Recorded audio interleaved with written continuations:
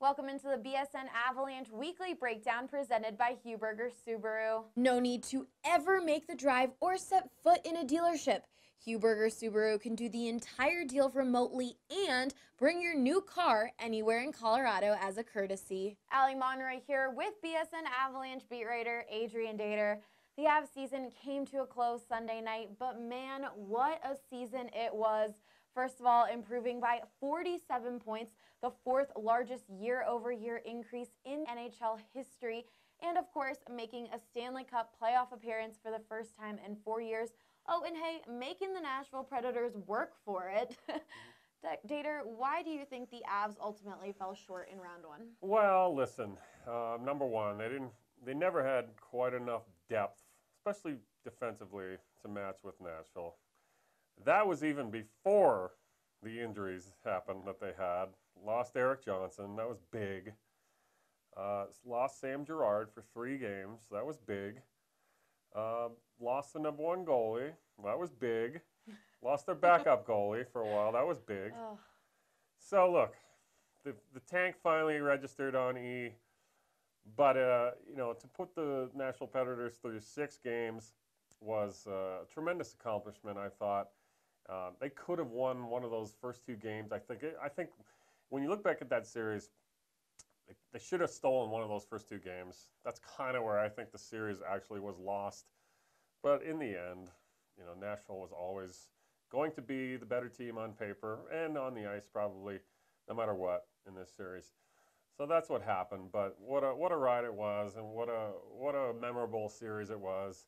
Um, we'll always have the hamburglar for one night. we'll always have the catfish on the ice. We'll always have scaring them to death for, for a few days. And uh, it, to me, it was all just uh, gravy, house money. Uh, it was a great, it was a great accomplishment. Well, Joe Sakic addressed the media in his year-end press conference. What were a few things you took away from that?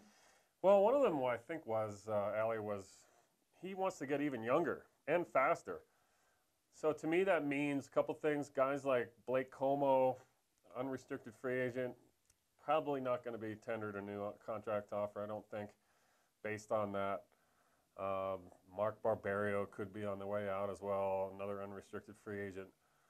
Uh, we're going to have some kids come in next year like Connor Timmins, maybe Cale Makar at the end of the year that are going to make this team younger and faster, I think. Um, the other thing was, yeah, we're not going to go chase probably a Stanley Cup right away with big name free agents. Now, that doesn't mean I don't think that they might not make a big offer to a big name free agent. But the point is, they're not going to, that's not their main priority of the offseason is spending a lot of money on big name guys, quote unquote. Uh, if there's a guy there that makes sense, I'm sure the Avs will do it. They have a lot of money on the cap to spend. But I think overall, the takeaway was younger, faster, uh, stay the model of building from within. And uh, if there's something around the fringes, then they'll do it. But otherwise, uh, younger, faster. That's the byword of this organization still. Head coach Jared Bednar was named one of three finalists for the Jack Adams Award. Do you think he has a shot of winning it? Well, no, because uh, so fast to answer. Gerard Gallant of the Vegas Golden Knights uh. is going to win that in a walk. He uh, took an expansion team, won a Pacific Division. They are up one nothing in the series in the second round. They swept the LA Kings in the first round.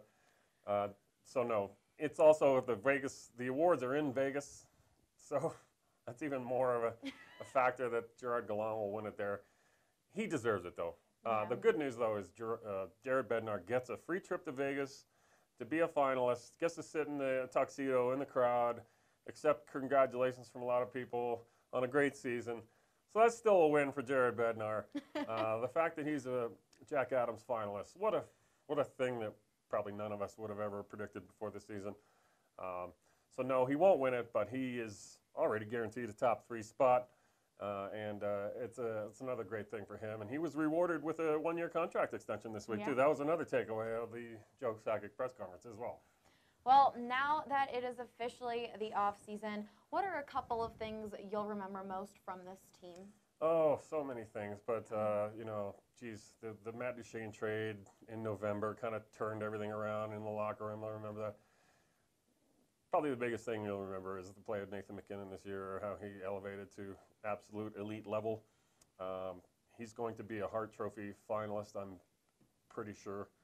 And I, my early sources are that talking to some writer buddies of mine that I think he's going to win it. Wow. I think he's going to win it. So um, that was something, you know, just the, the, the, the final game against St. Louis. Always remember that. They kind of stumbled down the gate a little bit, but they, they won that last game in front of the massive home crowd that was so fun. Uh, beat the Blues, got in the playoffs. Um, that, those were the big takeaways. Just overall, it was just a great, great ride that uh, in my 24 years of covering the team ranks right up there with best time I ever had. Yeah, I agree. Something I'll remember the most is game three at Pepsi Center. I had the opportunity to go, and man, I've been to a few playoff hockey games before, and I have never heard a arena be so loud. I had goosebumps. I was like, oh my God. Yeah. This, these Avs fans came out to show this team appreciation for everything that they've done.